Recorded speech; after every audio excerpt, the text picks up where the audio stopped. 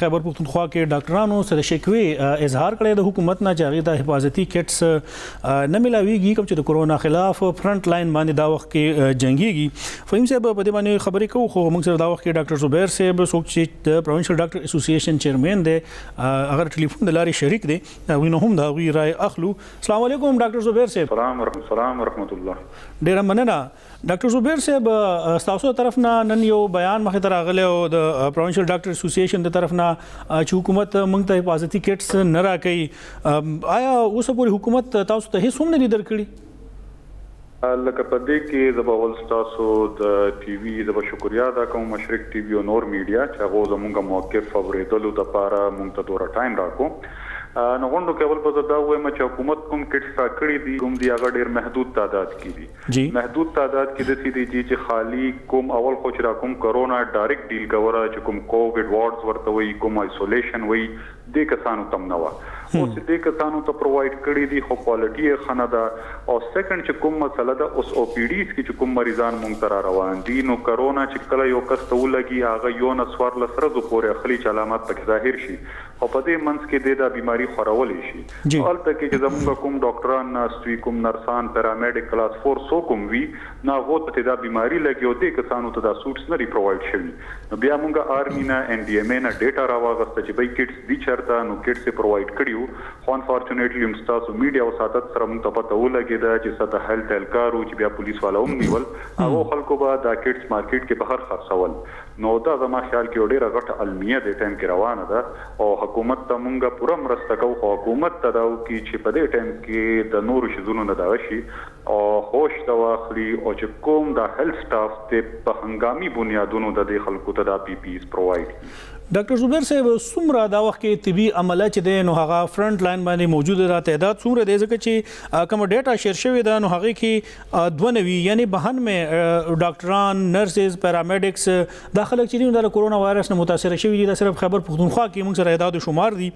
که دین علاوه تاسو سره وینو هغه مر سره شریک کړي او دویم خبر دا چې دا وخت په صوبه کې څومره ډاکټرز دي چې هغه فرنٹ لاین باندې دي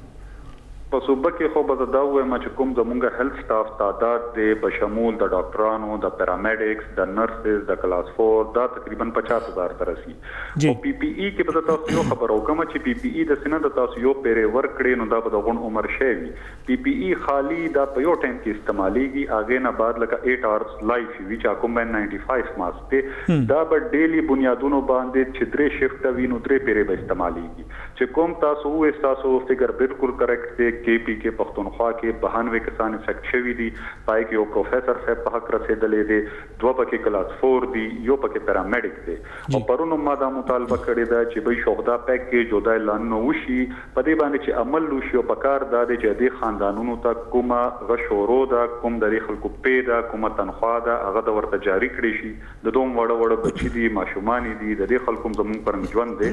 نو دا زما حکومت ته يو پيرې بيا مطالبه ده چې دا خلک ونه کړيږي او دې خلکو ته چې کوم ددې خلکو باقاعده پيکيج دی هغه ده ورته ملاو شي. ډاکټر صاحب دا راته ووایه چې کوم پنجاب صورتحال دی مونږ که ګورو نو هلته کې هم ډاکټران دا ګیله کوي چې مونږ ته سهولیات نه میلاویږي تاسو ذکر وکړه چې ان ناینټي فایف ماسک که د ورځې درې شفټه دي نو بیا به درې ماسکه لګي هلته خو ډاکټر صاحب دا وایي چې کوم دایي وزیر صحت ته ډاکټر یاسمین راشد چې یو ماسک پوره یو هفته کار کوي نو دا بیا دې خو نشي کار کېدی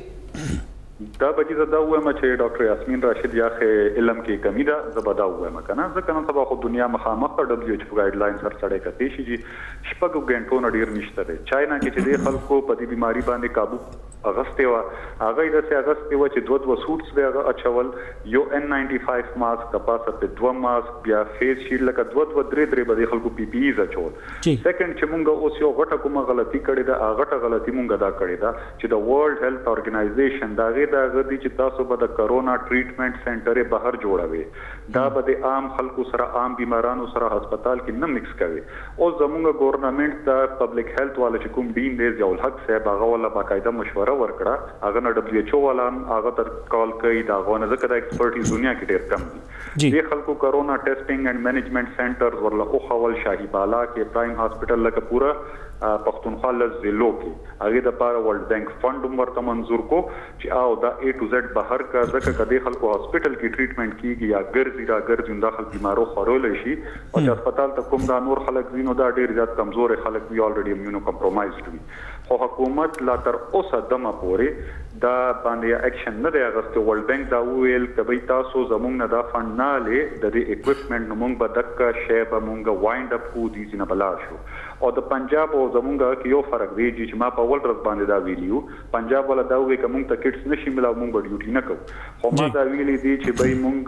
د دې خاورې نه يو په دې خاورې کې پيدا شوي يو دې کې به خښيږو نو که سنګ هم وي په هر حالت کې به مونږ ډيوټي کوو او دا دې زمونږ خلک په کې شهيد هم شو خو زه بيا دا ويم حکومت ته چې ايا خلکو سره وسايل شته دې چې دا د صحيح طريقه باندې استعمال شي. ډاکټر زبیر صاحب چې کله زمونږ ډي جي پی ډي ایم ای سره خبرې وشوې نو هغه وی چې موږ د ان ډي ایم ای نه کم سامان راغواړو نو زمونږ یو جاینټ کمیټي جوړه شوې ده د 11 کور سره او هغه بیا موږ ته باقاعده ان ډي ایم ای نه کم لیستونه راغلي دي هغه بنیاد باندې موږ هسپتالونو ته کټس ورکړي دي هغه موږ سره فګر هم شیر کړی دی غواړم چې تاسو هم واورئ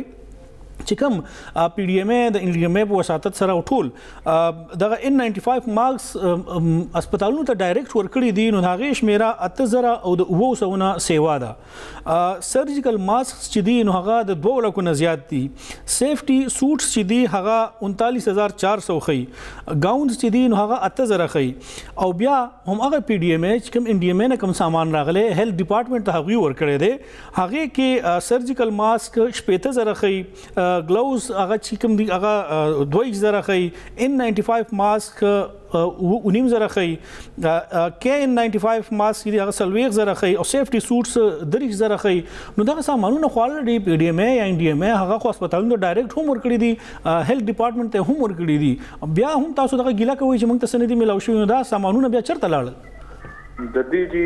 لکه زه برته یو خبر او کوم تاسو ډیره خپل خبر او کړ چې دی باندې کمیټي جوړه ده پوره دنیا کې جی دا اصول دی چې څه شي فیصله کیږي هغه د پاره مونږه ایکسپرټس کې نو د ایکسپرټس کمیټي جوړیږي ایکسپرټس رائے ورکي هغه بیا کار کوي زمونږ دلته کې المیه دا د دې چې کوم د دې خلکو پراپر خلک دي کوم پراپر ټرین ډاکټران دي هغه نه دا خلک پالیسی باره کې سنالي او لاندې پالیسی امپلیمنټ کوي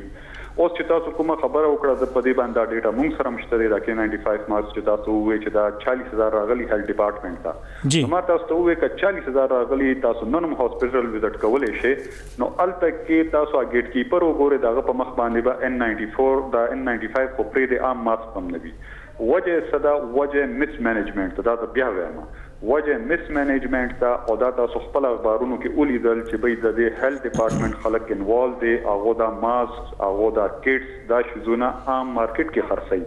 نو زه بیا بیا دا وایم چې کوم ټایم پورې به مینجمنټ صحیح نه وي چې پدې کې پراپر سټیک هولډر به انوالو نه وي او ددې به پراپر ترسیل نه کیږي، دا خلک د دسي لکه دا ولا مونږ مشوري ورکوو خو ګورنمنټ پري عمل نه کوي چي بي تاسو نه دونه لاړل دي ډي ايچ او ته ورسيدل هغوي دي دي ډاکټران له ورکړل دي پيراميډيک له ورکړل دي نرسز له ورکړل خو الميه دا ده چي دا شي کيږي نه او د دي دلاسه دا بيماري دا دي رس تر د خوري. ډاکټر صاحب بيا دا چي کوم تاسو ذکر کوي لګيا چي اکثر لا مسلي راځي ډيپارټمنټ ساي ته ډيپارټمنټ مسله بيا په ټولو صوبو کي ده ولي چي دا ګيله خو د خيبر پښتونخوا نه علاوه پنجاب کي هم شته سند کي هم شته بلوچستان کي هم شته زه ورته دا وایم چې سینت کې په هغه لیول باندې نشته دی لکه انفورچونیټلي زه به دا ووایم خو چې کومه په دې نورو صوبو کې ده که ما پنجاب سره خبرې کړي هلته کې هم دا مسله ده که ما سینت سره کړې د بلوچستان سره کړې ده هلته کې هم دا مسله ده او پښتونخوا کې خو ده ده هر ځای کې چې چرته کې زه به دا ووایم چې کوم رولینګ پارټي ده انفورچونیټلي ما ته په کار نه و چې زه دا ووایم خو دا ده چې چرته کې رولینګ پارټي ده دې خلکو اکه خلک راوستي دی چې کوم نا اهل دی کوم خپل جاب باندې نه پوهیږي فیسبوک باندې ډیر ښه چلیږي جی فیسبوک باندې سب اچھا هې رپورټ دی خو چې لاندې کوم مونږ ګراونډ وینو یا میډیا والا زمونږ سره کوم ملګری دی اني ټایم تاسو ویزټس کولی شي د هاسپیټل نو تاسو به ووینې نو جړا به الله درشي نو زه بیا بیا دا ویم چې بی په فیسبوک دا شی نه دی دا آن ګراونډ شی دی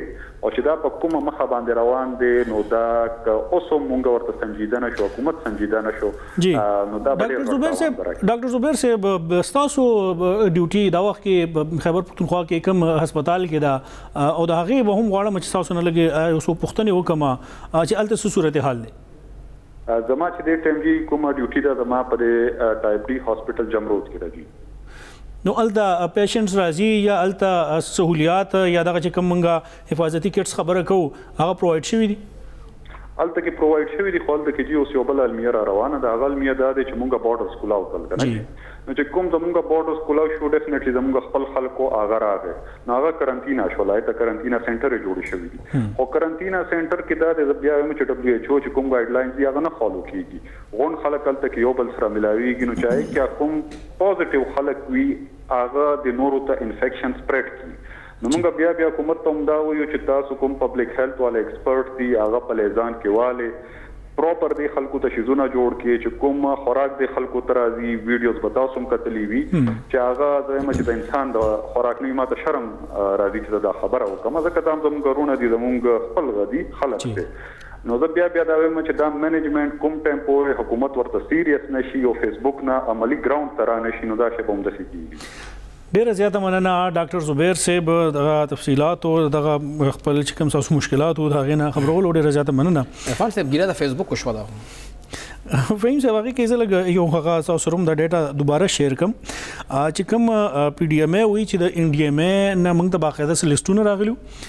د حساب پتولونو ته خیبر پښتونخوا کې چې کوم دی هغه ته سمره حفاظتي سامان پکارو چې دا تاسو ورکړي خو هغه دا یو خبره هم کوي چې دا زموږ لپاره ممکن نه ده چې موږ هر یو هسپتال ته هغه ټول شیزونه ورسو ځکه موږ یو کمیټي جوړ کړی دا چې باقي آرمي هم خلک ناشتي او هغه کمیټي بیا دا ډیسایډ کوي چې دا ټول شیزونه زی ډي جی هیلث او د هیلث ډپارټمنټ لاندې بیا د ټول هسپتالونو د خلکو ته دا موږ خورو هغه چې کوم اعداد و شمار شریک کړی دی دا خو ډیر زیات دی او که فرض کړه دا صحیح مانو کې ډیسټریبیوټ شوی نو زمانه د خیال چې یو ډاکټر صاحب هم دغه خبرې ګیله وکي چې کوم هیلث ډپارټمنټ دا ان ډي ایم ای پی ډي ایم ای کوم حفاظتي کټس یا سيزونه ډیلی اور کړی دي هغه کې سرجیکل ماسک 60000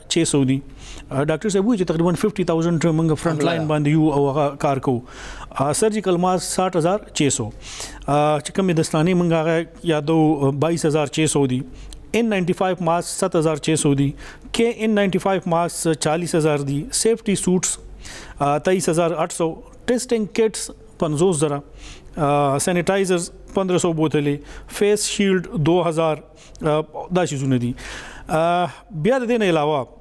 چې کوم هسپتال ته ډایرکټ دوی ورکړي دي دا هغه سيزونه دي چې هیلث ډپارټمنټ ته تللي دي هسپتالونو ته کم تللي دي هغه کې ان 95 مارکس 8778 دي نو کدا ته هغه سره کې نو د 1400 نه سیوا شو صرف ان 95 مارکس سرجیکل ماسک 2 لکه شپږ زره دي سیفټي سوټس دلته 39400 دي چې کم تیر مخکې نیو هم 23000 هغه دوم د 27000 نه زیات شو دغه فګر یو سایت تک نه چې اوس دې کې دا خبره راځي دې کې ډاکټر صاحب دا وایي چې یو ماسک مونږه یو پر استعمالول شي او غم اته غنټو د پاره دا خو 14000 ماسکونه دي 50000 سټاف ته که دوی هغه ماسک اول خو یو کس ته یو ماسک ته رسیم نه یو کس ته یو ماسک نشي رسیدي فهم صاحب زلګي 50000 خلک دی لګا بیا غینه پس دا یو وخم نه کیږي یو زما یو یو هو کوي دغه چې کوم دا یو سرجیکل ماسک دی او عام ماسک دی او څنګه دی په دې باندې خو مونږ نه پویګو ډاکټران صاحبان په دې باندې خپوي چې کوم یو ماسک هغه ماسک هغه پنځه شپږ او اتو غنټو پورې کار کوي کوم مارکیټ کې اویلیبل دي کوم مارکیټ کې اویلیبل دي د کې ضرور ډاکټر صاحب دا یو خبره هم ټیک ده چې د کې د هیلث ډپارټمنټ کې غلاګانې شوی وي مارکیټ کې خرڅ کړو N95 ماسک د 14000 دا په خپلو خلکو کې تقسیم شوي وو، خو په دې مارکېټ کې چې کوم په دې شل روپۍ باندې ماسک ملاوېږي یا په دېرش روپۍ باندې ماسک ملاوېږي یا په پنځوس روپۍ باندې کوم ماسک ملاوېږي د یو ډاکټر صاحب دومره هم استطاعت نه کېږي چې هغه په پنځوس روپۍ د ورځې ځان له یو ماسک والي چې به هغه پنځلس سوه روپۍ ورکړي دلته عرفان صاحب دا چې کوم ماسک کنه دا چې کله مخامخ کس چې دی کرونا افیکټډ دی او هغه رانږدې شي دی د هغه چې کله ټریټمنټ کوي یا دته پته هم نه وي یو کس راغی هغه عام د ټوخي بیمار زه زه هغه ټیک دی هغه خبره هغه خبره ته مې د مې طرف ته زه خو زه خبره دا کوم چې هر یو سیز منګه ولې د حکومت نه تم ساتو چې مال د شلو روپو حکومت ماسک نه راکړي که فرض کا زه انسانيت د جذبې سره او دغه شیزونه کوم نو پکار چې ځان د یو زر روپو ماسک کوله مزما پوره میاش کېږي ځکه چې مارکیټ کو دغه شل ډیر شو قیمت د حکومت ذمہ داری ده خو پکار ده خو پکار خو انسانيت خو انسانيت هم دا دی چې منګه هر یو د شلو روپو